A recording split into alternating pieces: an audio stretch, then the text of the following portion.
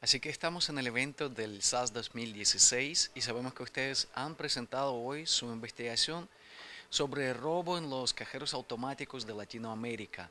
Queremos preguntarles a ustedes, ¿de qué se trata su research, por favor? ¿Nos podrían contar? Bueno, el, el problema está complejo y la situación está difícil porque la gente está utilizando el ataque a los cajeros como una forma de obtener dinero más fácil. En lugar de eh, preocuparse por robar los números de tarjeta de crédito, por robar la información de los usuarios, simplemente llegan al cajero y, y extraen el dinero. Es una manera más fácil, menos arriesgada y está cañón. ¿Qué técnicas están empleando los criminales cibernéticos que están operando en Latinoamérica para robar el dinero de estos cajeros? Bueno, en América Latina, en realidad en Argentina, tenemos una expresión que es lo atamos con alambre, que es decir, que de cualquier forma vamos a resolver un problema. Y lo que pasa en América Latina, bueno, particularmente en México, Colombia, numerosos países, que primero van con técnicas que son de baja complejidad. ¿Qué hacen? Bueno, vuelan el cajero o lo atan con una cadena en una camioneta y se lo llevan directamente.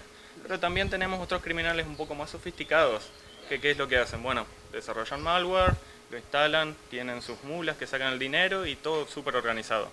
Pero, bueno, como todo, eh, así hecha la ley, hecha la trampa, entonces los criminales siempre intentan eh, subir un poco el juego.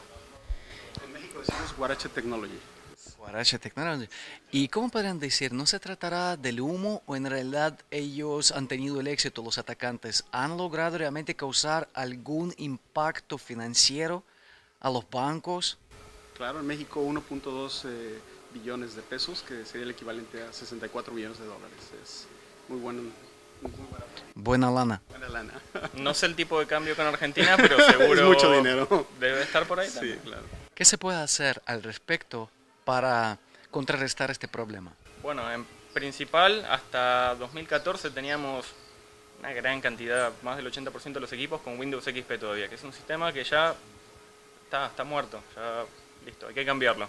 Entonces, bueno, como primer paso, cambiar el sistema y segundo, tener eh, algún tipo de protección en el cajero, porque si no, no solo puede ser infectado, sino que el banco no se da cuenta. La gente pone su tarjeta, hace todo perfecto y después igualmente le roban el dinero. Gracias. Una última pregunta. ¿Por qué mariachi? ¿Por qué de repente no alguna otra banda folclórica de Latinoamérica? Bueno, es que a todo el mundo le gusta el mariachi. Entonces, Hasta en Argentina nos gustan los mariachis, imagínate. Muchas gracias. Gracias. gracias.